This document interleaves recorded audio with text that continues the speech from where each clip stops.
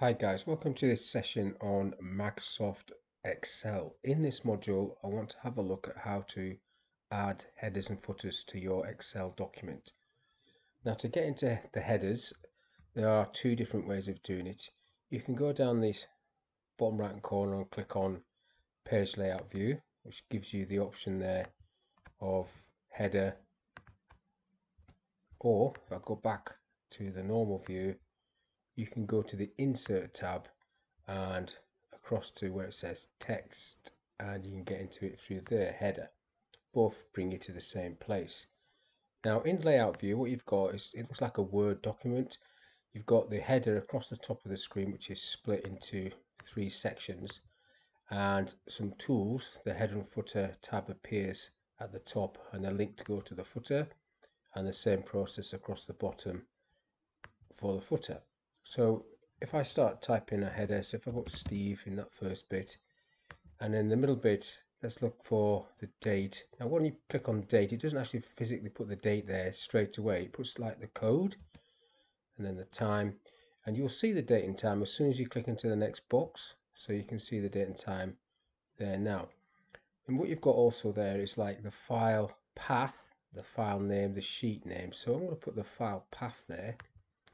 Now that could be quite a long path. If I click away from that, that's quite long, not too bad. Now in the footer area, if I go down to the footer, what I'll put in the footer is I'll put the sheet name and then in the middle I'll put the page and then I'll do of and then a space and then pages so you can see that I've got the page whatever page number that is of pages. If we go back up to the top, you can now see that header.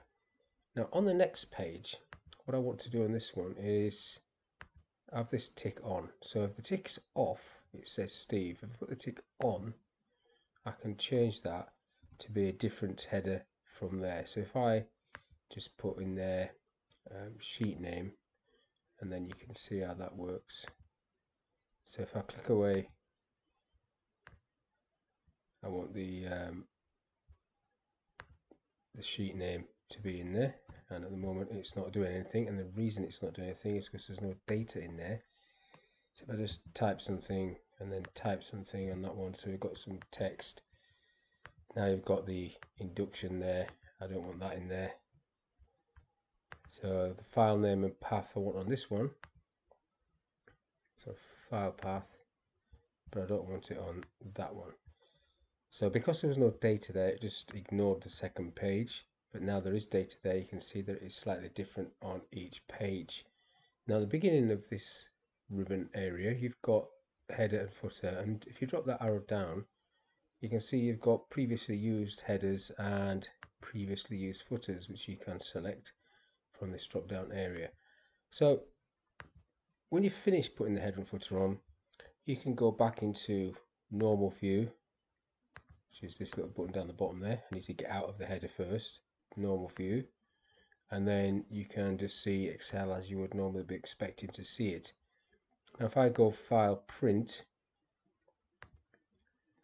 you can see the header and footer again through print preview options and the second page like so and back and if you need to get into it again quickest way is down the bottom click on the page layout view or you can go to page layout on there and mess about with the features that you've got in the page setup area. But basically headers and footers are just text or information that appears at the top of the screen or the bottom of the screen and will be printed off on every page depending how you've got it set up. So in this example, second page is going to be different to the first page because you've got that ticked, different first page. You can also tick different odd and even pages if you wish, but that's all I want to talk about in this little session, just headers and footers in Excel. So thank you for your time. Hopefully that was of use to you and I'll see you in the next one.